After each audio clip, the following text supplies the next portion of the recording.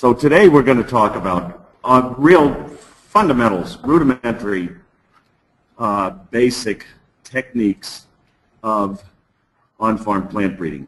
Uh, this is essentially all based on techniques that uh, we have extrapolated now, and it's been so nice to have not only Jared's brain, primarily Jared's brain is my main go-to guy, but for bouncing ideas, but a whole number of other plant breeders that we have really uh, the old saying, the old cliche, we stand on the shoulder of giants, because many other people uh, have forged this trail starting over 100 years ago in the beginnings of plant breeding. And all that we've tried to do in the past six or eight years is to make this truly farmer friendly. So hopefully you'll get a taste, taste of that with this presentation. Whoops, I lost contact. It didn't even touch any buttons. And the nice thing about this presentation, too, I made the original presentation. Jared changed it some. He sent it back to me. I changed it some, sent it back to him. He changed it. So this is really a cooperative presentation here with Jared. Gets full credit. Okay, uh, I'm going to start by saying a few words about Nash Huber, one of our local growers. Luckily, he's not in the room. Easier. Um, Nash is one of our prime candidates for on-farm breeding. Uh, and I can tell that best by the story. This story really exemplifies why he is one of the prime prime suspects in this whole on-farm breeding thing. Nash uh, runs about 400 acres of vegetables on rotation, also grow, growing more and more grains. I'm sure some of the bread we'll be eating is from his grain grown over in Sequim, Washington, which is about 30 miles from here as the crow flies on the Olympic Peninsula. Beautiful little Sequim Dungeness uh, river valley. Anyway, uh, one of Nash's prime crops is carrots. And in fact, winter carrots, uh, anyone interested in the winter carrot breeding, uh, we are doing an intensive project on that. And we'll cover that in the NOVIC slot this afternoon specifically. But I like to use this as an example because Nash was a farmer with the need. The, after a number of years of trying to identify good varieties for his winter production that were in fact the classic uh, organic fresh market Nantes type carrot, uh, he had found one that he really liked. And all of a sudden the seed company pulled the plug. And it was an older open pollinated Nantes variety. And the seed company stopped producing the seed, stopped carrying and producing the seed. So Nash was in a lurch. He had gone through literally dozens of carrot varieties trying to find this one. And um, he said, well, I guess I've got to grow my own seed. And having grown up on a uh, farm in Illinois, southern Illinois, uh, where they still, as a kid in the 50s, grew a lot of their own seed, he said, well, that can't be that hard. You know, what do we have to do here? It's a biennial. That's a little odd. But uh, he essentially started to do it. And from that, he started to select and adapt that variety. And here he is in seed production for that Nantes.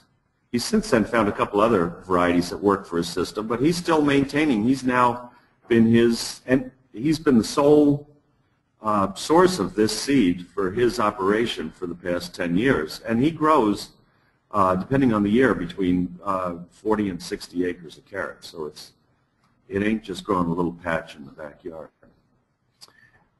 Um, so that's, that's a classic story we hear. And if I don't get to say at any other point, that's the kind of motivation that we really like in the farmers that we work with on, on these uh, participatory on-farm breeding projects that we do.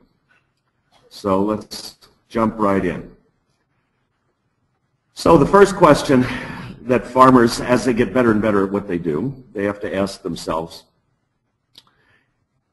as they screen through varieties of whatever the specific crop they want to grow, you know, is the, are the varieties that they're using truly adapted to their climate, soils, production systems? Organic production systems are often uh, significantly different than conventional systems for a raft of reasons. We'll touch on a couple in a few minutes on one of the slides. Um, and then, of course, many, many of us who are in the organic uh, uh, produce uh, deal, production systems, uh, have very specific markets that are, that are unique, like the Nantes carrot. When I first uh, was breeding carrots at the University of Wisconsin when I was a grad student with Phil Simon, who will be here later today, um, industry, basically, Phil told me that industry had completely, at least in North America, given up on the Nantes carrot. It wasn't, it wasn't important. I said, oh my God, well, all the organic guys that I know that grow carrots, that's what they're growing. But that was still less than 1%, far less than 1% of the overall production. The point here is, you don't always get what you want. There aren't always breeders out there really thinking about you and these particular parts of your system. Um, so if you do have a variety that you like, there are some basic questions that you often have to ask. Is that open pollinated variety, by the way, OP always means open pollinated. I'm, I'm assuming everybody knows the difference between OP and F1 in the room. Um, anyway, if it's a non-hybrid variety, is it well maintained? We often have problems with, uh, in cross-pollinated species, they, there's a lot of uh, ongoing variation that comes up and that is segregating through the population. They're never uh, 100% fixed to type. So really it's the mark of the, of the seeds person who maintains that variety, who produces the seed and maintains it to keep it well maintained. And we teach specific classes with whole sessions on this. But to cut to the quick, not all of our good old OPs are good old OPs anymore because they haven't been well maintained. Is it high quality seed? Is the seed you're buying, you may say, well, I can still get Scarlet Nantes seed, but it is, is it of, if you're a commercial farmer, is it of commercial quality of seed that you can produce it and get a 95% stand on the seed that's, uh, that's drilled into the soil. Um, if you're using hybrids, as many of our growers do, is it a mainstay variety? What does that mean? Well, is it a variety that's really used enough in significant enough quantities that it stays as a mainstay for many years to come? Because once a, once a seed company drops below a certain amount of sales or has problems producing that seed, they will drop uh, some of their hybrid varieties quick as a hot potato. And uh, all of a sudden, you're in the lurch. And many of you who are commercial farmers certainly have had this, I'm sure you've had this problem. And also, our F1's maintained. We just heard another story just two days ago at our NOVIC meeting uh, about a squash that from England that is um, miserably segregating this year, all sorts of different odd shapes, and I won't say the name of the squash, I won't beat up on it in public, but it was a hybrid that a lot of organic farmers were starting to uh, really like and was good for northern uh, butternut growers. And it's not well maintained. So, and even hybrid seed, of course, nothing magic about hybrids, it can be poor quality seed. So this is often, all of these things are reasons above and beyond needing a specific variety that's not available, you may have a variety that's available but doesn't uh, meet all of these criteria and fall down. And then there's the real conundrum, which is, what about certified organic? In the letter of the law, we're supposed to all use certified organic seed. So this has driven, all of these factors have driven people to producing their own seeds. So let's talk about the fundamentals of on-farm plant breeding. Uh, there are typical traits that we evaluate and that we think about is the, is the variety up to snuff. I'll go through these quickly and I'll give a couple of quick examples, but things like plant height, well, what is, does that really matter? It certainly may not matter in squash, but I'm a beet breeder and plant height, the tall tops, really matters for my fresh market growers that want my tall top beets because there are not many available. Uh, what about the plant stature? Is it, uh, does it have, have a nice upright stature or is it prostrate to the ground? That can make a big difference in your production system. Leaf type. something like arugulas. There's a wide range of leaf types. It makes a big deal, a big uh, difference in someone's uh, particular market. Days to maturity, of course, harvestable yield, color, we know all of these. These are uh, common to all farmers everywhere with their crops. Uh, how about flavor texture? How about storage life? There are differences if we get into varieties. And all of those traits that I just mentioned are common to all, uh, pretty much all farmers. It's not just for organic farmers. But now let's talk about some of the traits to consider for organic growers.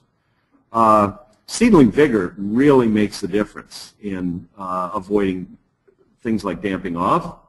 Seedling vigor makes a big difference in getting ahead of the weeds in our systems that don't use herbicides.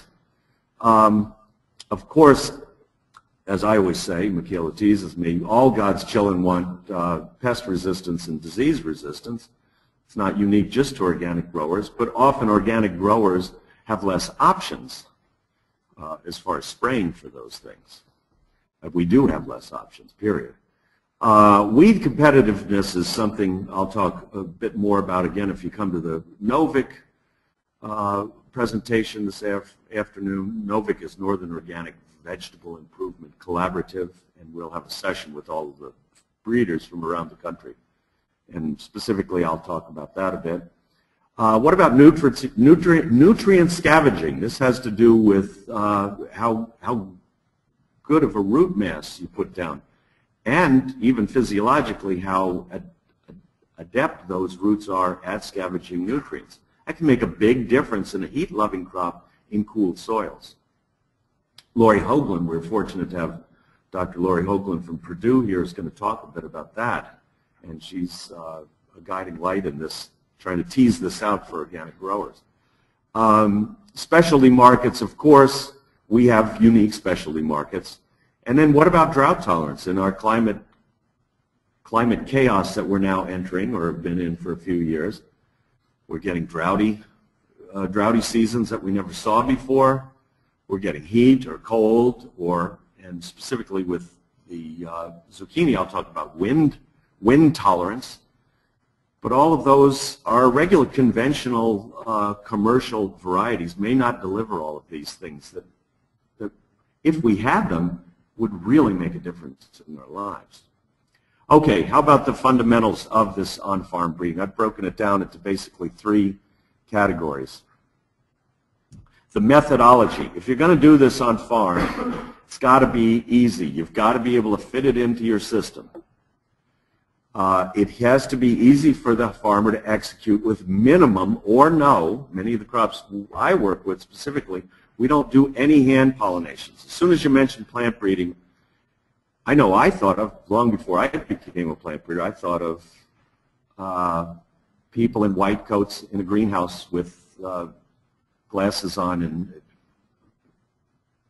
and or, or, glasses with little extensions emasculating flowers and making crosses.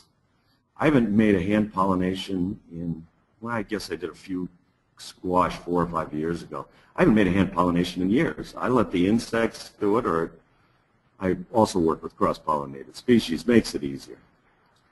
Um, minimum note-taking. Farmers, uh, in my experience, uh, working with them for many years now, not great note-takers. And uh, truth of the matter is, I'm not either. I take my necessary minimum notes. I want to cut to the quick. What's good and what's not. And I'm not going to keep comprehensive pedigrees of hundreds or thousands of things. I don't have the staff to do it, and farmers certainly don't have the staff to do it. Uh, so, and minimum collecting of pedigreed seed lots. This is a reference to the fact that in many breeding programs, there are literally thousands of seed lots to keep track of. We're not going to get farmers to do that. Now, we have to, yet, deliver a reasonable amount of gain for selection per cycle. And this will come up. This basically means uh, every time we select, we've got to really make progress. And this will be the contrast between mass selection and progeny selection that I'll show you in a minute. We'll, we'll explain that a bit better. Uh, and then, uh, true to my philosophy, is I believe we have to always make sure we're retaining as much genetic variability or variation as possible for further selection on farm, further selection for adaptation on different farms, and for the ability of growers to keep adapting it, keep changing it to changing climate, changing needs, changing uh, agronomic techniques that they're using on farm, production techniques. So I bend over backwards and you'll see this where we try to keep it variable, but yet uh, have enough, have adequate uniformity for the marketplace.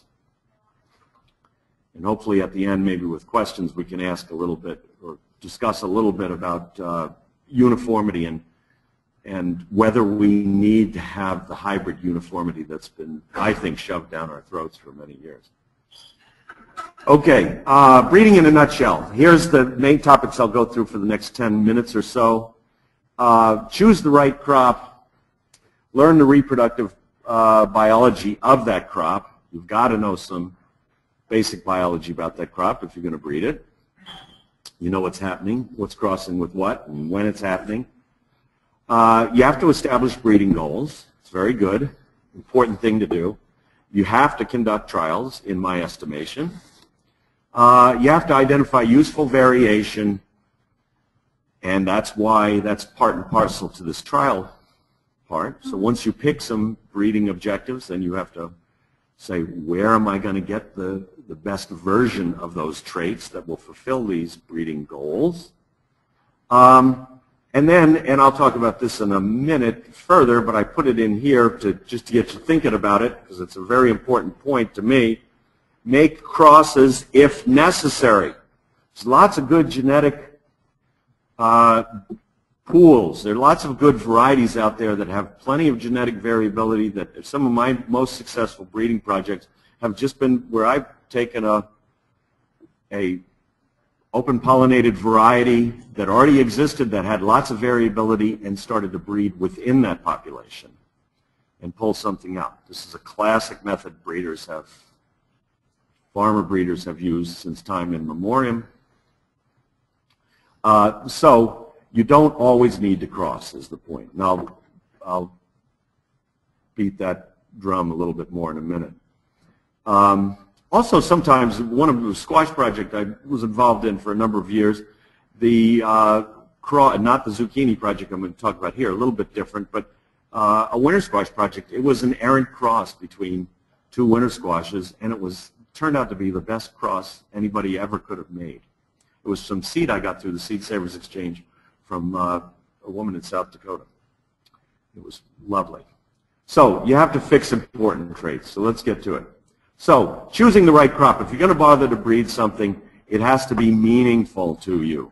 It has to be important. I truly believe it has to be very important on your farm so you have incentive. And you really have to, uh, I don't know how else to say this, but you got to love it. You really have to enjoy working with that crop, eating that crop, going out and looking at it first thing in the morning, even before you do anything else. It's just, Dad, I just want to go out and look at that crop before I get going on my day. Those are the crops that we have found farmers are most successful breeding, the ones they really are excited about. No wonder. Uh, can you produce seed in your climate? We live in a very nice place to produce cabbage seed. Here's a cabbage field on uh, Whidbey Island, probably about 12 miles from here as the crow flies. It's, it, we're living in a world-class climate for cabbage seed. Uh, and does it fit your system? The breeding has to, as far as the cyclical nature, the, uh, the seasonal nature of the crop, when you harvest seed, if all of a sudden the seed or the evaluation comes due right when you're at your busiest with some cash crop that you have to get in and deal with, then that might not be the best crop for you because you might not be able to take the time that's necessary to do the evaluation or gathering of the seed or whatever. And then there's the question of crossers and selfers, which I'll talk about right here. So now in this is reproductive biology. This is a wonderful little diagram that Jared made out of uh, some notes that I had. Uh, though this is common, I mean, it's any good plant breeder knows this through and through. Uh, so when you're cho choosing between self-pollinated species and cross-pollinated species, and that's the first thing you have to figure out about your crop. Is it a self or is it a crosser? Selfers are often easier because you need less isolation. Uh, they don't cross when you don't want them to, essentially. At least if you give them a modicum of, of separation between bean crops, for instance, or wheat crops, wheat plots, uh, crossers need more. So that may impact your, your on-farm breeding. Crossing of selfers yet, though, is harder. So physically doing a cross or getting a cross-pollination. Uh, we have a lettuce uh, breeding guide that will be coming out. We'll talk about the methodology that Frank Morton uses where he gets crosses to happen without doing hand uh, pollinations in lettuce. But uh, you have to know your crop. You have to know the biology to do that in a selfer. Whereas in a crosser, it's easy, as we'll show you, to make a strain cross. You put two varieties next to each other and you let the insects or the wind do it. Self-pollinating uh, is easier, so there are times in plant breeding when you have to self-pollinate. Uh, selfing in self-pollinated species happens naturally. Crossers, you may have to go in. That may have to be your manual manipulation of flowers, the only manipulation you do. Uh, inbreeding depression in selfers is less likely, I like to say. Uh, it, crossers don't all, not all varieties of crossers get, uh, not all species and or varieties within species get inbreeding depression, but you run a much higher risk. So you have to do some uh, fancy dance steps to make sure you have enough variability going into any project so you don't just end up with uh, inbred runty thing, which there have been many cross-pollinated vegetable crops that have been even released in the marketplace that I consider runty and inbred. okay, quali quality traits. These are these are gimmies, but I'll mention them quickly. Qu quality traits, well, all those specific traits, flavor, color, texture, leaf curl. Those are easy. Adaptation. I truly believe adaptation climatically is one of the most important things that we can be breeding for and that we have to always be conscious for, uh, for obvious reasons. Vigor, uh, seedling vigor. What about other kinds of vigor? In Nash's kale that we're going to use as an example here, um, uh, his regrowth in spring, it's an overwintering crop, the regrowth in February and March is his most important vigor issue, and he's been selecting for vigor at that stage in the life. So it's not just seedling vigor.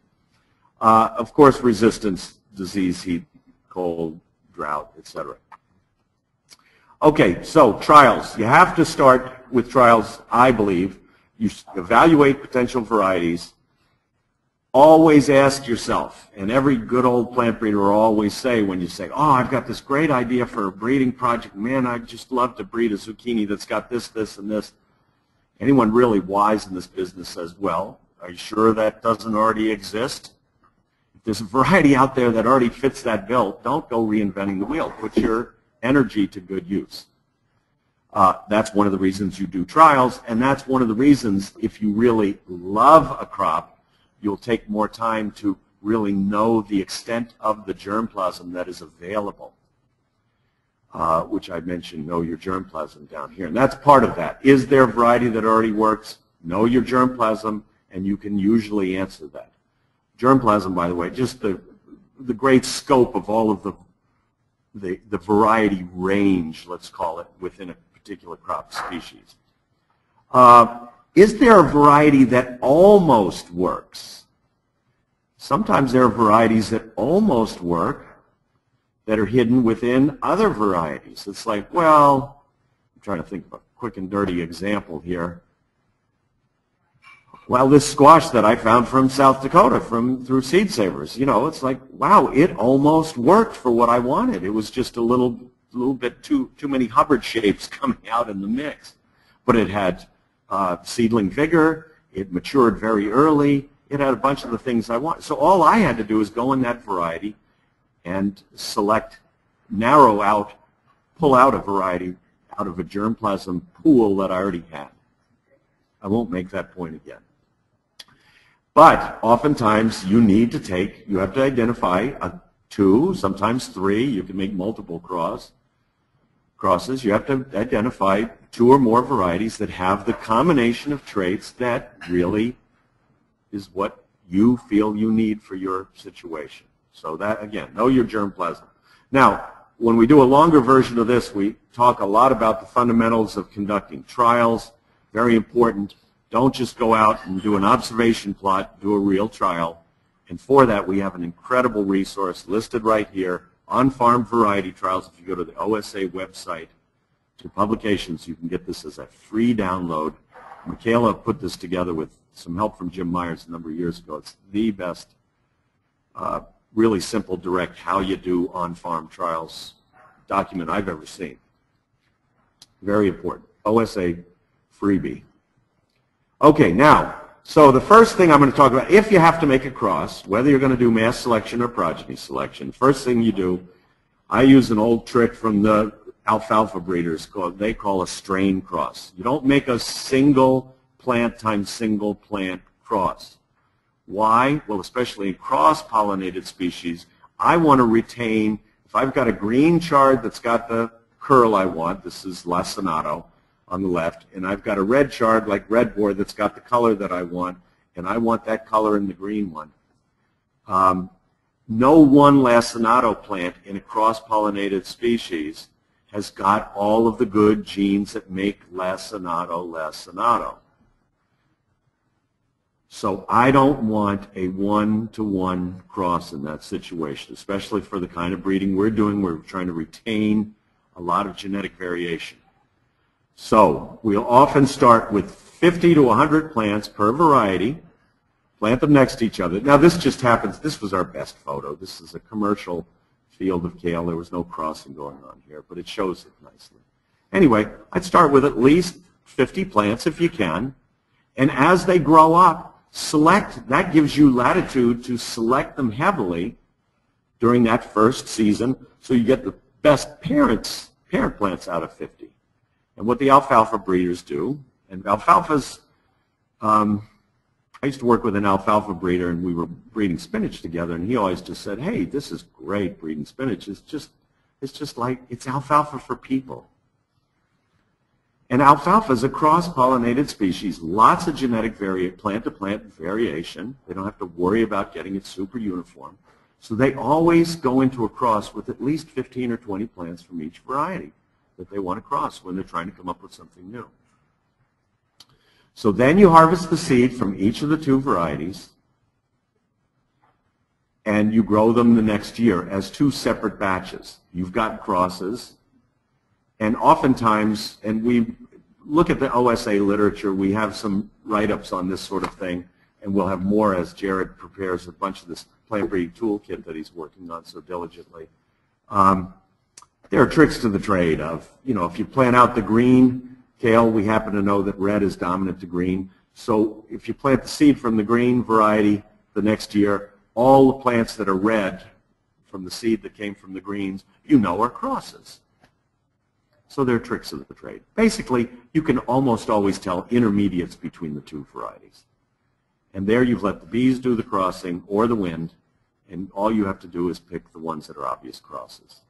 Very important in all of my breeding. I then allow them to intermate for at least one or two seasons and mix up. If, in preferably, in a couple of cases, we've had the fortune of having it be for four seasons.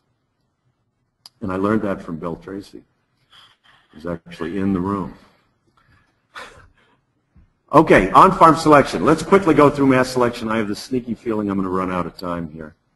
Uh, mass selection is simple most widespread. This is what all of our ancestors essentially used. Let's just put it that way, and I'll describe it in a section. Second, progeny selection, fairly simple trick that can speed the breeding process, but still can be, essentially, it's my best method for on-farm. It's a form of recurrent selection uh, using progeny. Uh, mass selection is essentially just going out in a population and selecting individuals that look the best. If you can select the individuals before they intermate before they cross, which you can do in onions, for instance. You can do in carrots, based on the phenotype or how they look is as the vegetable that you're harvesting. Then you have uh, then you haven't allowed any of the runty-looking plants to cross into the good population that you're trying to select, and you will make better gain from selection. So always select before pollination if possible. Now, in something like sweet corn, in something like zucchini, that's not easy. So if you have to do it after uh, pollination, well, not as good, but better. But there are always some uh, selection you can do before for certain traits of any crop, even though you don't get to look at the zucchini fruit or the ear of corn. And we'll talk about some of those traits in the crops that we're going to look at. When you do mass selection and you just have a square patch of the variety out in the field, always cut that patch into quadrants and try to select an even number of plants from each quadrant. This is a really important tip. This is a nice little diagram from Jared. I appreciate it very much. Each star is a plant there. So in those first couple of generations, let's just say you're taking five or ten of the best plants from each quadrant. You've got a block of, uh, I don't know, carrots half the size of this stage. You cut it into four, and you dig up all the carrots and you say, I'm going to take at least 10 carrots from each of the quadrants. Why? Because once you might say, well, there are no good carrots over in this side of the patch. They're all over on that side. I'm only going to pick the ones from the far side of the patch. Well, why is that?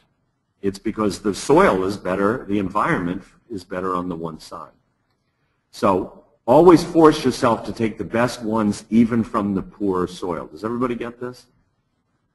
That way you'll be getting the best representatives. If you only get the best ones from the best corner of the trial, you're picking largely based on environmental influence into those plants.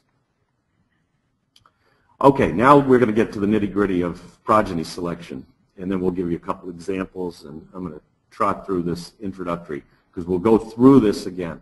So select a uh, minimum of 50 plants from the population, at first. So this is the population. Remember, you made the strain cross. You let it intermate a couple of years. We'll tell you how Nash did this in his kale in a minute. Then you go out in the plot and you find, I always like to find the 50 best plants in the plot. So if it's a commercial farmer that's got, like Nash often has, an acre or two of a particular kale variety, you know, you go out and evenly within four quadrants, you pick the 50 best plants. And you do this, all the best farmers always, once they get this, they say, well, I can't go out and pick them on any one day. I've got to watch those plants over weeks and weeks of harvest in the case of kale. I got to look at it in the fall. I got to look at it in the spring. So you can start to mark plants that you like, and then you might change your mind in spring when it's half dead from powdery mildew. So you save seed from those 50 plants into individual little brown bags that you get from the supermarket lunch bags. You number them 1 through 50. the next year, you plant 50 individual rows, preferably two replications of that. If you don't know what reps are, look at our on-farm trial manual. It'll explain the whole rep thing without me doing it now. And you plant out those 50 rows twice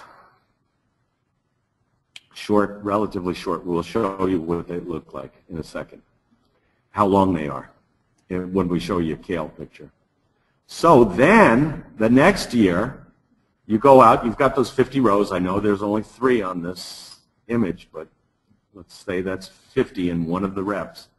And you select, usually I find about 15 or 20% of the rows are going to be good. You are going to be amazed that first year at how many of the rows out there look pretty shoddy.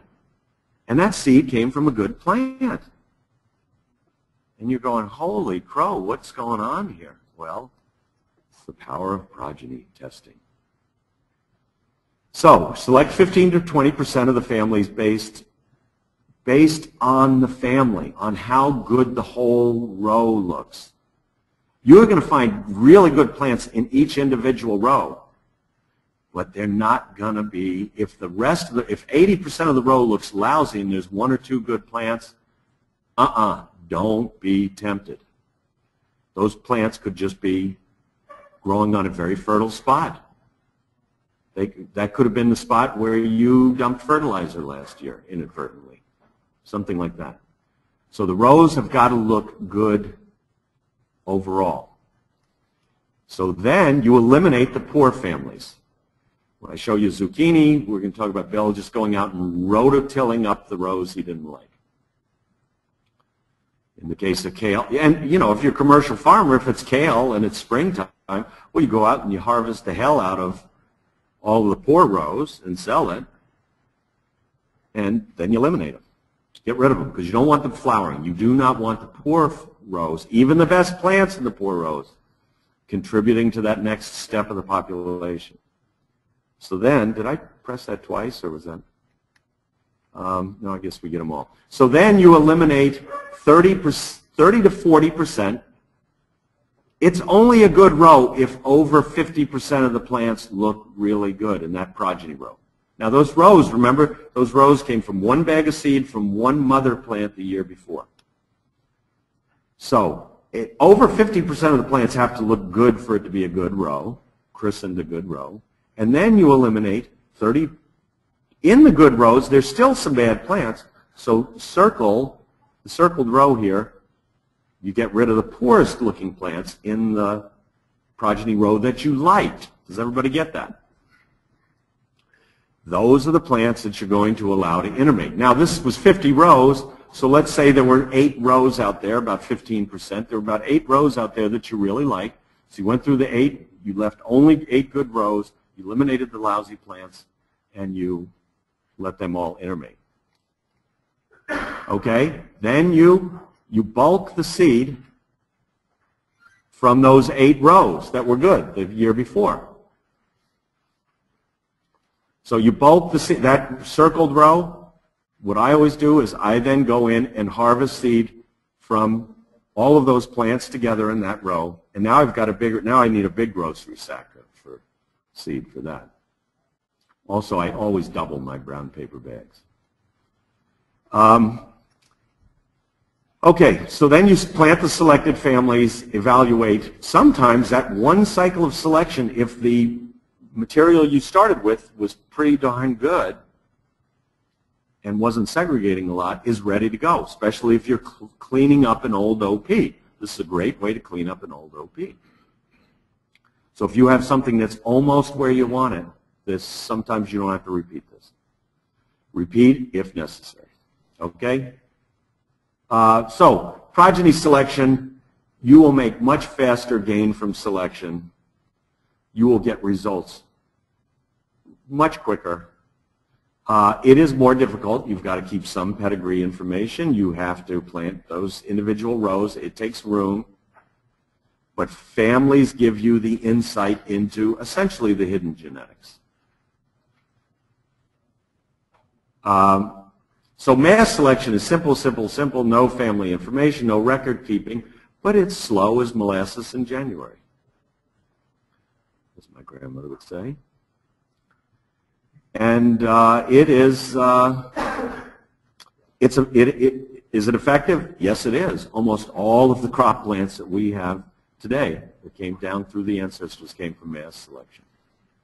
But we're going to talk about how fast progeny selection can be. So Nash had a uh, Nash had a vision of wanting a red kale, and I believe this was before Redbor even came out. Um, and essentially what he's bred, this is kind of a summary of all of the good stuff that he needed, whether he realized all of this at the beginning, but he, he got downy mildew resistance, a decent level of downy mildew resistance, not complete, upright stature, overwintering ability, vigorous regrowth I've mentioned, and a delicious red kale that on your way out of town you can stop at a bunch of different places and buy some. Um, Redbor is the standard in the industry. Redbor, how many people have eaten Redbor kale? Any Bejo sales reps here? No good. It's terrible. Tastes like cardboard. It not it chews like cardboard and it tastes like cardboard. I would say that even if a Bejo sales rep was here. Anyway, it's pretty though, isn't it? I bet some of you grow it just because it's so darn pretty. Um, it's awful. It's not that downy mildew resistant. It's got some. It's not the most susceptible. And its regrowth isn't that great. But as you can see, Nash even grows quite a bit of it. There's money there. Okay, so, but you know, it's a real crime to sell people Redbor kale because a lot of people, that might be the very first time they ever eat kale. And then they'll think, oh, this is as yucky as I thought it was going to be. Okay, so Nash found two plants in a, in, this is years ago now, 15 years ago, he found two plants of red kale in a Vates dwarf Scotch kale field. Uh, he said the biggest problem with Vates is it's too squatty. So he crossed it with, uh, this was the brilliant thing. So there, this was just a gift from heaven above. He had a, a green, the old Vates variety. He had an acre of it, and there were two plants out in this acre of it. Was it a mutation? Was it a cross with something? We'll never know. But Nash, being the great opportunist, went out with his shovel one day and dug them up and moved them to his house, put them in his garden, and then he dug up a couple of his favorite Brussels sprouts plants. This was the real genius.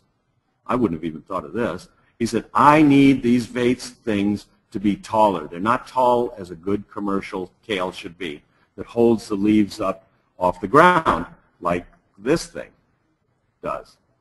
So he crossed it with Brussels sprouts. And then over, he saved the seed, he bulked all of the seed, and he just started to plant it, at first in a small patch and then in a bigger patch. And he selected very heavily for kale-like plants, good leaf curl that the Vates had, and the reddest plants he could find.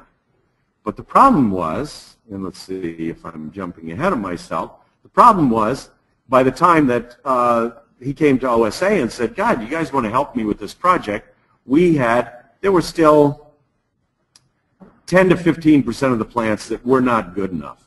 There were certainly greens. This is the kale as it looked a number of years ago, into about 2006. But for 10 years he'd been mixing up the genetics on this, and it was he had some really outstanding plants. So basically, in one of those big fields, we had him go, and we're not going to go through the whole um, uh, well, yeah, okay, we'll go through this quickly. Um, so in the, um, I'm going to cut to the quick here. In uh, 2008, he selected the best 50 plants for leaf curl, all of those good things. He actually even tasted for texture, whether you could, whether you can really tell good flavor in kale raw, you, you can to some degree. Um, stature, all of that good stuff. You know the drill and he allowed 50 plants. He actually, it was a two-acre field, I believe, of his, what he was just calling Nash's Red. He actually dug up the 50 plants and took them to another field. Let them intermate, did everything I just told you, saved the seed into separate bags. He planted out then 50 rows, and he, uh, and this is where actually Jared helped him on this project, and they went through and they evaluated rows for uh, number one thing they wanted to get rid of was the recurring green plants, recessive trait. They were in the population. They were going to come out forever and ever. You can't get rid of something like a recessive trait, like a green plant, uh, with mass selection, even if you do it for 300 generations. But once you if you plant at least 50 plants in each progeny row and evaluate it, if there are no greens, the chances are you're not hiding any greens so the rows had to be all red. They had to have good leaf curl. They had to have nice stature. That was key to this for commercial uh, harvest all along. And we even got rid of some rows with early bolters. Resulted in 13 all red rows. This is essentially where this research has stopped. And what has Nash been growing ever since? His good old population, which he's made some nice mass selections on.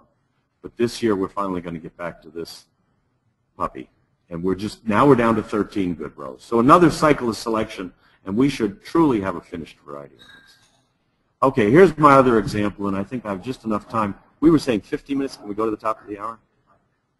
Okay, and there'll still be plenty of time for questions. And we're going to have some questions coming in from our uh, distance learners, right?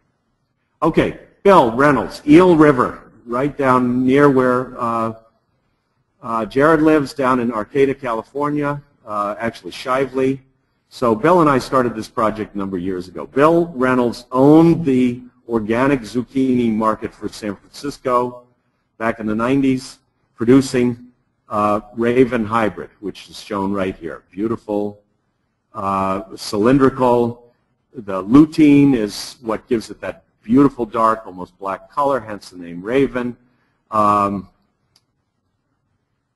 anyway, these are the traits that Bill has ended up with. Some of these traits were true, certainly, in Raven. It had some degree of spinelessness. It wasn't great. It had a nice bush habit, open canopy, uh, and it was productive. But as we'll see, what came up was even more productive. So Bill does essentially what I sometimes uh, inexactly call dryland zucchini farming. Essentially, uh, in Northern California there, it stops raining about the second week of May and doesn't rain again until October. So Bill, Bill has no irrigation set up on his farm. He lives near the Eel River. He plants into a moist seed bed, uh, gets a stand, and the roots, the taproot on squash are at least three or four feet deep. They get down to groundwater, essentially. But he has to have a very, very vigorous plant to be able to do. Also has to have an open, this open bush habit. Uh, crucial in zucchini, number one, it minimizes the scarring on your hands and wrists for the humans who are harvesting them, but it also minimizes, very importantly, the scarring on the fruit. When you have too thick of a plant, the old-fashioned zucchini plants, you, you tend to get fruit that either gets scarred in the wind as the plant is rocking back and forth in the wind and rubs against those spines on the petioles, or you get often scars when the human cuts the fruit and pulls it out of the plant and rips it along some uh, spines. So that's showing you the relative spinelessness of raven way back when. So uh, long story short, Bill had problems procuring enough raven seed for his uh, several acre production for the San Francisco market. And Bill was, uh, Bill truly paid off his mortgage with uh, organic zucchinis to San Francisco. Um, so Bill could no longer get Raven hybrid seed. That does happen. And when you can't get hybrid seed of a hybrid that you rely on, is there any recourse? No, there is not, because can't save seed from a hybrid, right, and get the thing that you wanted. Uh, so anyway, Bill uh, bought some Black Beauty, which is an old OP from the University of Connecticut many years ago. Uh, good dark fruit. Uh, was very happy because it had an extensive rooting system, got down to the water, and had a long harvest season, but it had a very closed canopy. He had scratched up fruits, many off-type fruits. Only one out of four plants were, was really harvestable. So the very first year that Bill grew Black Beauty, he grew about half of it. He still had some raven seed. He planted it out next to his raven in a, in a field, in a big acre production field. Half raven, half black beauty. He said, wow, well, about a quarter of the plants are good in the black beauty. I know I can save seed on a OP. I think I'm going to start saving my own seed because I don't ever want to get screwed again with the seed reps telling me I can't buy Raven zucchini. Uh, so, uh, inadvertently, without even realizing it, he essentially crossed Raven and Black Beauty. Um, uh, and then he took the seed, he harvested a lot of seed, pounds of the seed, and for the next four seasons, he basically drilled it with a Planet Junior thick. And he would select based on seedling vigor, uh, on plant, and if it would muster, I mean, he would literally, literally have a zucchini plant every two inches in the field apart, and he'd go out and do repeated selection for what are the most vigorous plants, because the thing he knew is he had to have a plant that got down to the water, or else he was screwed. Um, so he, as the plant got older, he left it at a higher density. He would select then for open plant type. And lo and behold, he was getting some nice open plant types because he didn't even realize it when I first talked to him, but it had crossed with the raven. And that actually brought in some genes for that open stature. So at the end of, uh, and then he selected very uh, adamantly for fruit type because that's how he had established such a good market in the San Francisco market. He sold into to many, many people bought Zooks that weren't even organic uh, buyers, uh, many restaurants, et cetera, because it was such a nice quality product. So that resulted in Black Eel, which you see after four generations. He had a pretty nice OP zucchini on the right, Black Eel. Um, and then on the left is Raven, the standard. Uh, problem is in his Black Eel, he'd still get vining zucchinis. You ever see a vining zucchini? He'd get yellow zucchinis. He'd get all sorts of interesting things. This just shows the fruit at maturity. There's the actually the name of the namesake Dark Star.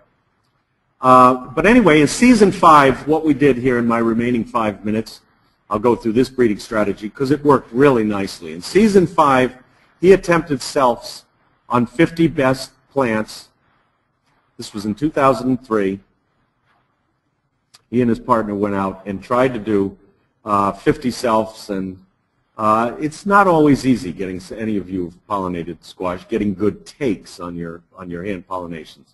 So we got 26 successful selfs. And this is out of a big acre field. And he, uh, boy, he pained over finding what he thought were the best 50. So he saved seed from 26. Those were the successful ones, separate bags. Each bag is then, because it was self-pollinated, it's called the full sib family. And we'll have some literature describing all of that for those who want to take this one step further. Uh, the next year he planted 26 rows. I tried to get him to do two reps. He didn't. But he planted 26 full sib rows uh, in progeny rows. And uh, the good news was I thought it was going to be a real struggle where Bill was going to, I, I, and I drove down to California to do this with him once the Zooks were ready uh, at the harvestable stage. I thought I was going to have to fight with him over, oh, he picked 15 of the 26 families. He was all nervous because only four of the families really looked good, maybe five. I said, Bill, that's perfect. So four of them looked good. Um, so what he did was he then went in, and I don't know how much I want to get into my slide where I have a diagram, but he went in and um, he basically took out 22 of the rows. And then what he did, because he was basing this on the evaluation of the zucchini fruit as well as the plants. The plants had to have the good stature, all those good traits, but they had to have the beautiful fruit. So what we did at that point is we went in and uh, we harvested all of the fruit that had already set on the four rows. Everybody get it? He did one last harvest of the whole patch, essentially. All 26 rows. Sold the Zooks. And then he went out literally with the rototiller and rototilled up 22 rows. We had four rows in the field. I'm sure his neighbors thought, what the hell is Bill doing now? There were just four rows of random rows out in the big field of zucchini. And we then went through adamantly taking off every, any fruit that had already been pollinated. Get it? So we basically had our cake and we're eating it too because there were no pollinations that occurred from the 22 poor rows. And because in Northern California they have a long enough season, we couldn't do this here. We were doing this in the second week of August. And there was still enough uh, season left for the fruit to, to set, the next set of fruit to set, get pollinated, and fully mature seed, which is about 40, 45 days from anthesis, or from pollination. Everybody got that? So we just had seed on four rows that had only been pollinated by other good rows. So we then harvested that seed as four, four big shopping bags of seeds. He kept four big piles of zooks from all of the best plants. We eliminated the poor plants in each of the best rows. Remember that little step? Um, anyway, uh, here's Bill doing hand pollination, showing it at a workshop. Anyway, to make a long story short, I will show you this for a second. So uh, year one is just showing you that he took random 26 plants out of a big field, selfed them, planted four rows. Those are in half rows down in year two, if you can read that. They actually were row 8, 21, 32, 41 from the year before. Those were the rows. Um, planted them. Oh, well, no, that was all of the 26. We liked those four rows in year two. So then we went in, and I've supposedly had a pointer here, but heck with it. Wherever you see the X's, those were eliminated. We just saved seed from the four, and we went to the next year where we just had four rows. And then we replicated it. He planted a huge, it was almost, because we had so much seed, it was almost an acre and a half field of just these four varieties. So we could really look at the four, not varieties, four half sib at that point, they were half sib progeny rows because they had all sibnated between each other. So we technically use that term half sib. So the next year we had four rows replicated, big field, but it was all based on those seed from those four rows. We liked, I thought, well now three out of the four are going to look good, and I'm going to have to struggle with Bill to get him down to just two of the four probably. He called me up and said, John, only one of them really looks good. I said, okay, and that's what we're going with, Bill. The one that looks good. I trust you. So we then he then went in, made one last harvest, rototilled out everything except for row 41. And 41 was the number that came from two years before. He kept those numbers. It was easiest for him. So we just left the 41s out there. We went through and took out the worst plants out of 41. And from that, one cycle of selection, because he had broken up the linkage blocks essentially and mixed it up nicely in those four years, I think, we got a, a damn good zucchini. So now, in summary, um, we started. He started testing this in Baja in the winter. Grew it both in Northern Cal and Baja. Very resilient, very adaptive. Could really take the weather in Baja. Winter in Baja is windy as hell. And these plants were sturdy. As Bill said, he always selected them to be real Christmas trees. And in fact, they were. And they didn't wave in the wind nearly as much as the regular hybrids that the grower was growing down there. They ended up yielding five to six weeks longer than Raven or the other leading hybrids.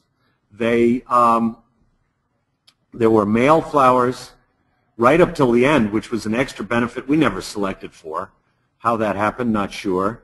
And the grower really loved that because in, in regular commercial zucchini production, oftentimes plants will, in hybrids will keep putting out females but won't have males to pollinate them. And if you don't get a good pollination on a female, you don't get a good fruit set. Oftentimes when you have the little shrimpy uh, failed fruit set, that's because inadequate pollination. Uh, stocky open plants, low on the spines, seem to be less virus and powdery mildew than, than some of the competitors in the hybrids, was definitely more variable than F1s, but was pretty darn stable. Uh, so for four years then, Bill has just been maintaining this via mass selection. Um, he, do, he alternates between stock seed and production years, where he produces stock seed up in Northern Cal, and uh, and and then the next year he'll do his actual stock seed and do uh, heavy duty uh, selection, uh, because now he has quite a bit of demand for seed of this thing. Uh, the Baja, the acreage had gotten up to with one grower down there, grows certified organic, sells into Whole Foods and all of the organic uh, zucchini markets in North America, especially the West Coast in winter. He had 50 acres of this a year ago, and I'm at my five minutes, and it's just going to be perfect here, folks. He had 50 acres a year ago.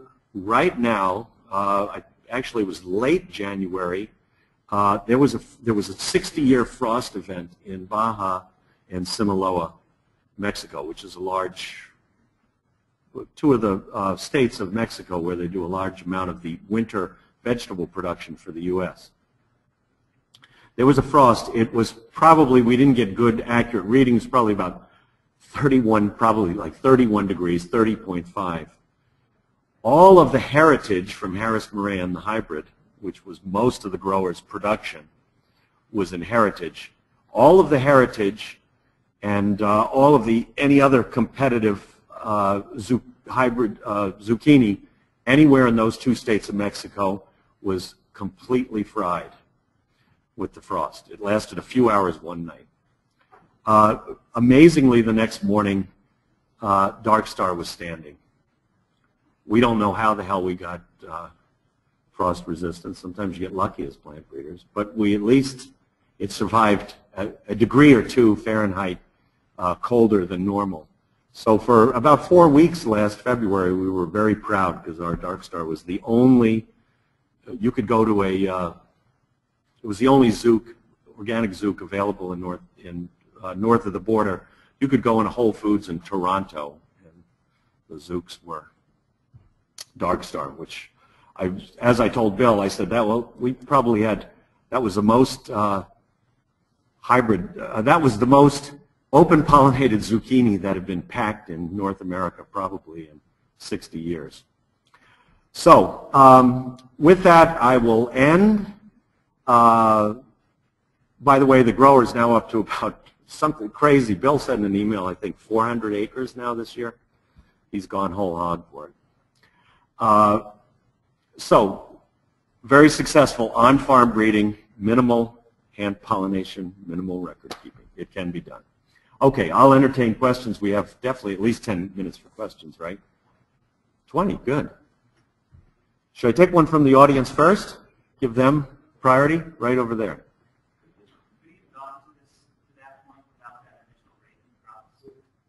Uh, so the question is, could Bill have gotten to that point of having such a good variety without that initial raven cross? My answer would be no. He wouldn't have had the uh, in that amount of time, selecting for that open habit was, A, number one, the open habit was really important from the Raven. Um, the, I think to get something as nice a fruit shape, it would have taken, even with uh, recurrent progeny selection, it would have taken at least three cycles of that to get as nice a fruit type too, because that Raven just has such a beautiful fruit type. It was locked in. Yes. Next question from the um, ethers. question coming in from Simon Newfeld. Um, if you could just repeat it for the online I will. Audience. Yes. Um, do you worry about throwing away good genetics when you're cutting back 15 to 20 percent in one season? My understanding is that conventional breeders will grow thousands of rows and then keep at least 30 percent because they are worried about losing good lines that just look bad like food. That's a great question. So now to repeat it. Uh, do you worry about cutting back to 15 or 20 percent uh, at the at that point in the, initially in the I guess that would be in that progeny selection when you're going to rows uh, because normally when uh, large commercial breeders are breeding they often have how many did he say?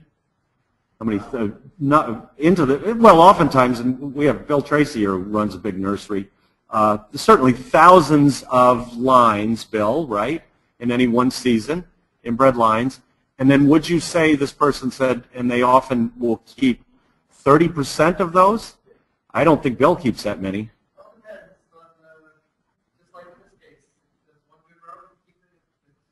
Right. If it's good, it's good. It's not. So in that way, uh, the caller is asking, in that way, your chances of keeping good genetics, if in fact that's true, as, as stated, would be higher. This is a case where I would say in, in a cross-pollinated species, if you really know your germplasm, you've really chosen two good parents, you make that initial strain cross where you're keeping a higher percentage uh, of uh, some variability. So you, you basically, all your parents are heterozygous, are, are mixed. Right from the get-go, you are, we did narrow it down to essentially four plants is as low as we went. Now normally uh, in conventional breeding, they narrow it to a single plant And then, especially in a cross-pollinated species, in regular pedigree breeding, you self individual plants and you go to progeny rows and then self again and do that repeatedly for three or four generations. That to me seems to be even within any one uh, line, you're narrowing much more than we did going to four plants that contributed to the eventual population. Now, as far as the scope of the whole, uh, all the genetics possible out of those two parental types, uh, certainly we did lose some genetic variability, but again, as one of my mentors, Larry Satterley, used to say, you know, uh, it's as it's as good as it it's as good as what you get essentially. You know, if we got something that was as good as that and proved to be good, and this is where the testing in the field, our benefit of taking this to a really tough climate in Baja and seeing what its metal was really made of, uh, I think really tells the story of we kept pretty darn good genetics. Now, whether we had all of the possibilities that would have been possible out of those two parents, the answer to that is he's right on that fact. Absolutely not. Yes, sir. Joel. With uh, uh, specifically, uh, you make the decision to go from progeny to mass selection? Like, what sort of, uh, how do you decide? After that one cycle, uh, okay, so the question is from Joel. Wait, did you finish? I'm sorry. Yeah, well, basically, how, how do you, in your, your experience, make the decision to change at all between those two different selection processes, and how do you make that decision? Excellent question. So in this case, uh, specifically with the Dark Star zucchini, we had the really only one cycle of those three years of the progeny selection. And in recurrent selection, often a cycle will take three, three seasons. Um, and then we went to mass selection. So this, Joel's question is, if you're going from progeny, if you've done a progeny selection, and uh, when do you decide it's good enough to then just go to maintaining it with mass selection, right? So uh, in this case, this was a split decision, actually. Uh, the, after that first cycle of progeny selection, I still didn't think, and to this day don't think it's done, and dying to do another round of progeny selection. I'd like to true it up a little bit more. But this is a perfect example where the farmer who knew his crop, I mean, nobody's more of a zucchini nerd than Bill and really knows his crop. And it takes it very seriously on, on how much pack out am I getting as a commercial farmer. He said, you know what, this is ready for prime time. It's good enough for me now. If we have enough funding to go on and do another progeny selection, by the way, this funding for that initial progeny uh, work was, was done through, through Seeds of Change. Um, so he said, you know what, I need, this seed is better than anything I got, so I'm going to use it at this point. So actually the second part of the answer is you can then say, and this is what Nash has essentially done with his kale, it's like, it's good enough, I'm going to use it as it is. If you want to do a cycle of the progeny, go for it. We'd love to make it even better. Did that answer the question? Does everybody think? For everyone here. Okay, another online question. We have a, uh online attendee in uh, British Columbia, and they're wondering about um, doing progeny selection on a small acreage, and wondering if you would suggest uh, crops that require minimal physical space to selection. Excellent question. So the, the question from BC is, um, if you have minimal space, uh, limited in your space, what would be a crop that you could do a breeding strategy like this on? And I just happen to have the perfect answer because I've done it with uh, a couple of classes of mine.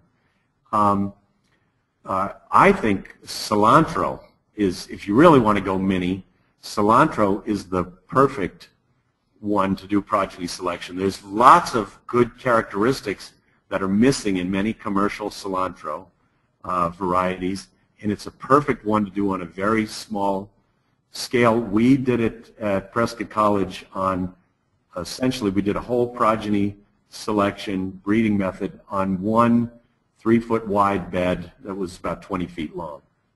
And it worked great, and we made great progress.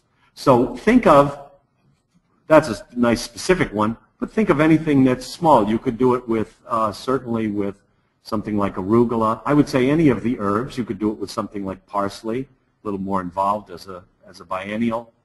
Um, and so in large part, you have to cater it to your, uh, your climate and your system. BC, pretty short season, but uh, certainly the, the small leafy green uh, and or herb plants would be perfect on a real small scale. Any other questions from our audience right here?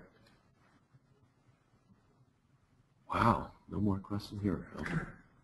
Um, with Nash's Kale project, uh, so started two red plants. Yes. And how many Brussels sprouts plants did you cross that original process? And how did that population size look like future breeding? Yes, okay, great question. So um, the question is, uh, in Nash's kale breeding project, Nash's red, he started with two red Vates plants and then crossed them to Brussels sprouts. And the reason I, and the, que- the question then continues, um, how does that uh, potentially small amount, as I'm advocating large uh, strain crosses, how does what seems like maybe very small uh, number of plants, how does that, what are the ramifications in the eventual breeding? Is that accurate? Um, so the, uh, the reason I always fudge on the Brussels sprouts, how many Brussels sprouts is because Nash will never give me a straight answer. So I haven't gotten it out of him, and I, I don't know if he's like, doesn't want to admit that he doesn't remember or if it's just foggy. But I would imagine, from my experience, my years with Nash at this point, probably dug up three or four uh, Brussels sprouts plants. And they were, in fact, hybrid Brussels sprouts.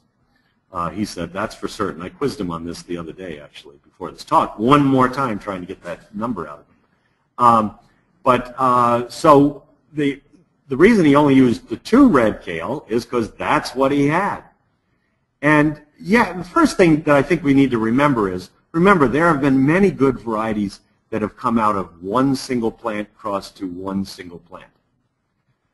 Uh, when I emphasize the making the strain cross, the old alfalfa breeding trick of the strain cross, it's just because I'm a little obsessive with this, trying to get as much genetic variability in from the get-go as possible. Uh, now, the second part of the answer is the, the genetic difference between kale and Brussels sprouts is, even though they're the same species, everybody knows they're part of the Brassica oleracea, whatever they call it, tribe or whatever. You know, broccoli, cabbage, kale, Brussels sprouts, uh, kohlrabi, all will cross, cauliflower. Uh, but they've been, kale and Bru- Brussels sprouts have been divergent for so long, for uh, who knows how many hundreds of thousand, maybe up to a couple thousand years, that um, uh, the genetics are really very different. So he got a lot of what we'd think in plant breeding, uh, heterotic boost out of that, hybrid vigor out of that. You're putting together a bunch of genes that hadn't been together in a long time. So I think out of that generally, and we're going to have Bill is putting up his hand, but out of that generally, you're going to really benefit from divergent genetics. Bill, comment. You, you said that the Brussels sprout, um, variety was F one, right? Yes. So it doesn't really make a difference how many plants were involved, they're all sensitive.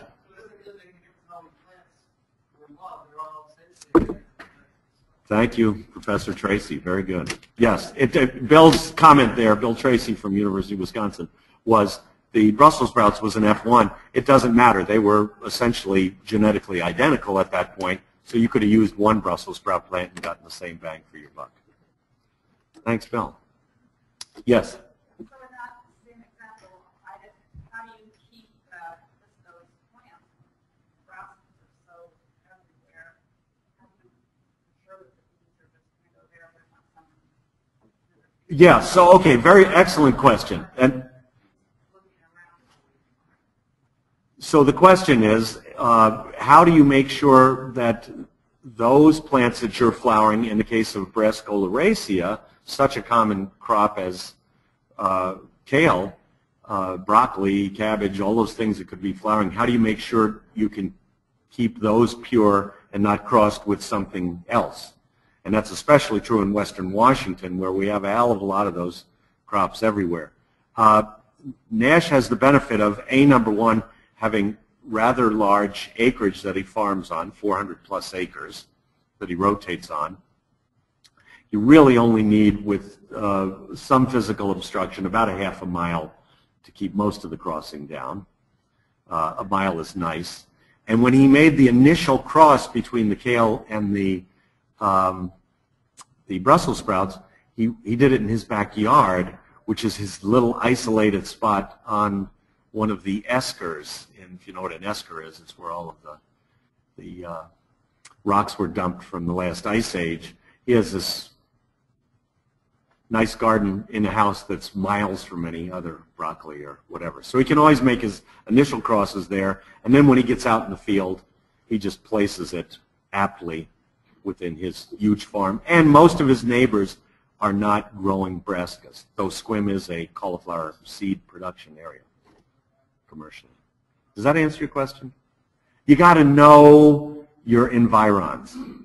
You got to go out. You got to keep every time you get in the car, every time you hopefully even bike or walk or whatever. You just keep your eyes out and say you kind of know what everybody's doing. All the farmers who work with cross-pollinated spe- species tend to become really familiar with who's growing what.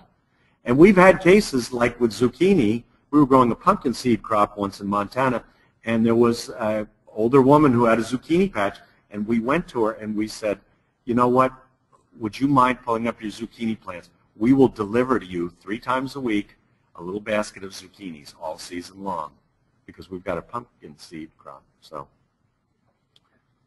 yes, sir when you take it too much to the family like that, that you're not gonna end up, you have some sort of idea that you're gonna end up with a leaky brassica, instead of being, get more Brussels sprout traits with, uh, something ending up.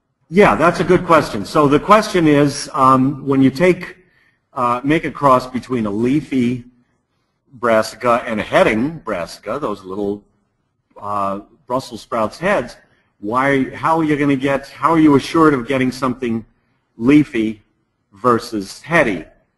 Uh, in this case, um, the ancestral form with our prior knowledge, and I don't know if Nash went in with this information, but uh, leafy is pretty darn dominant, and you can, it's the ancestral form, and that plant would much rather be leafy than than head. But even if Nash hadn't known that, the, uh, so that makes your life easier, A, number one. Number two, you're going to get segregation between the two, and almost always you can select, even if one is more dominant to the other. It may take longer, but you're going to get the, the range of traits in progeny.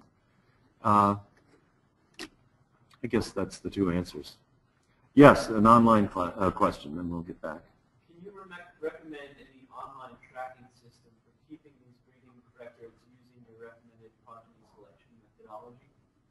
Wow, great question. So can I recommend any online tracking system, so some sort of online pedigree uh, program, I suppose, uh, for keeping track of uh, the progeny in a, in, a, in a breeding project like the ones I've described? Uh, that's the question. I would say, um, I don't, I don't know. Do we, is there anything like that? I would ask the plant breeders in the room. There are, there, they cost, and I think generally Excel or some program.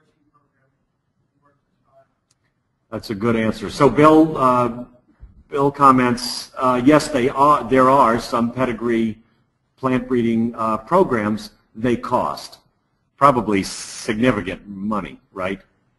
Um, thousands of dollars. Uh, using just a good old Excel um, uh, spreadsheet, many breeders uh, live and die by their Excel spreadsheet, right?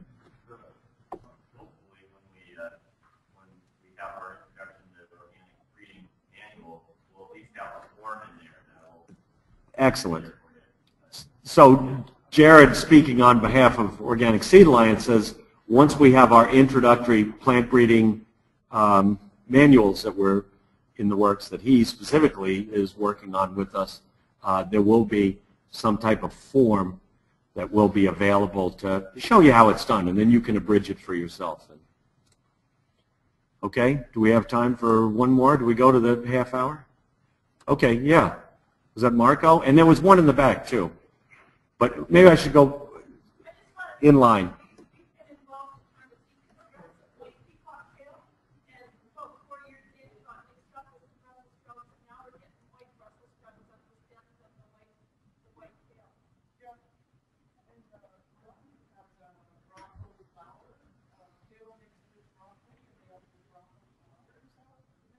Yes.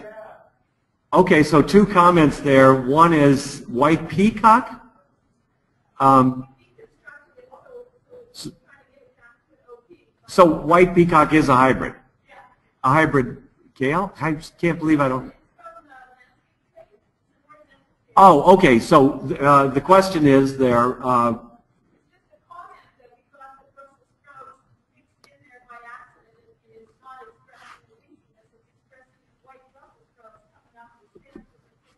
Okay, so the question is, uh, in in a so-called dehybridization, or trying to make a new stable variety out of a hybrid uh, white peacock ornamental kale, um, uh, in in the breeding process, it cro inadvertently crossed with Brussels sprouts, and now they have white Brussels sprouts. Uh, what do we do? When you have lemons, you make lemonade. What's wrong with a white Brussels sprout? um, I would say just go another generation. It's believe me, that leafiness is gonna it it's in there. It's gonna come out if it really was a cross. I would keep going. Uh, you can always, if you go down a blind alley and it gets crazy, you can always go back and start over. I hate to say that, but do you? And the other thing that plant breeders often do is they save remnant seed. So it's like, oops, it screwed up. Now I'm going to go back to the generation before it screwed up and start. But that the, the uh, Brussels Brussels sprouts might give you some good genetic boost there, and it might make it better tasting. Some of those ornamental kales are pretty rasty.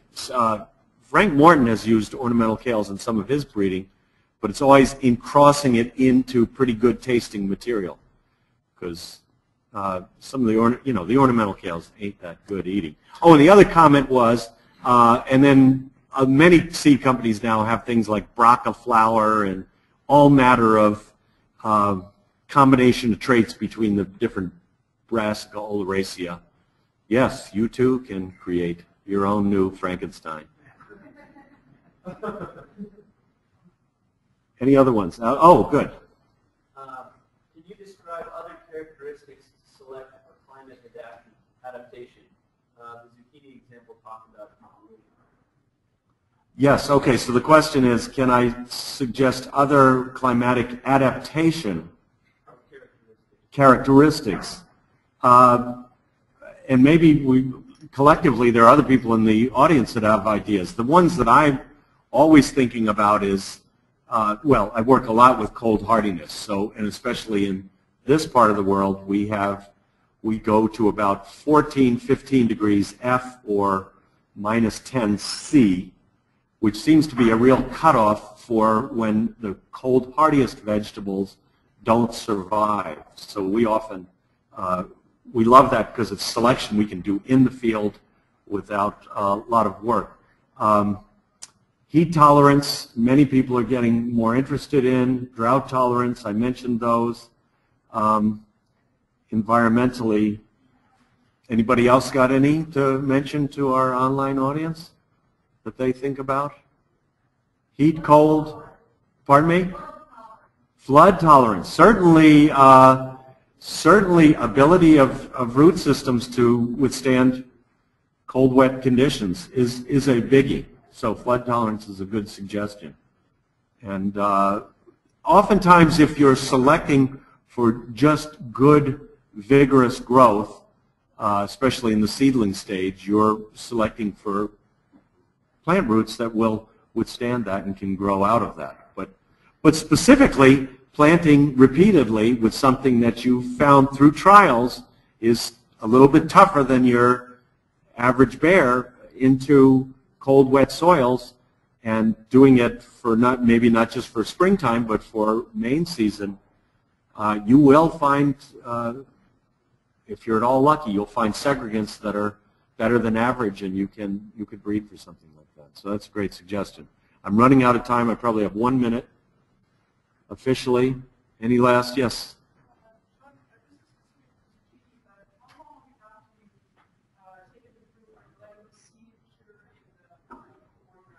Um, the question is uh, practical one of once you harvest the zucchini, the big fully grown baseball bat zucchinis, uh, how long do you let them sit before you extract the seed, before you cut them open to get the seeds out? We have some folks from Seed Savers Exchange. What is the, I'll go to you guys for the, I'd say at least three or four weeks if you can pull it off. Um, I think it actually was depending quite a bit, but we let the fruit mature not only because of the plant, on the thing that we need. We don't hold them that long after they they don't store it that well, so we just hold it and watch them. Um, as soon as the fruit seems to be excited, it's very Okay, that's a great answer, and I'll repeat it as our last comment here. So the answer from Shannon at Seed Savers is um, uh, zucchini do not uh, store that well, uh, ripe zucchini, fully mature zucchini. Sometimes they do, sometimes they don't.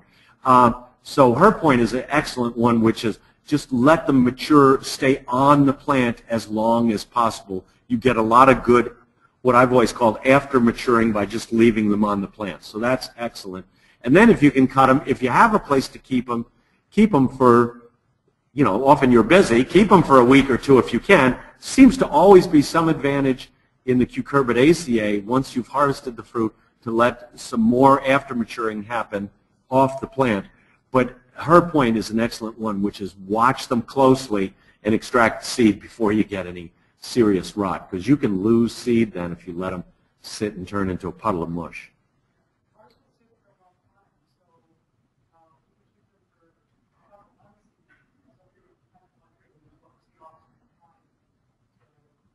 We've never had zucchini that we haven't had that long. We have bitter squash. um, bitter squash, um, very colder, uh, well, that's excellent, it's not more than Alberta. Yeah, that's pretty cold.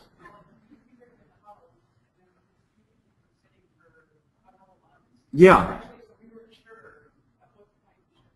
And, and so the, the couple of comments there are um, they're keeping they're keeping in Alberta a very cold climate where it's not many good places to store. They're bringing them in at room temperature essentially into the house, and but cool. Uh, and uh, again, the optimum is cool, dry, 50 to 55, 10 to 14 C, and uh, uh, if they store for a couple of months, as long as they don't sprout, they're fine.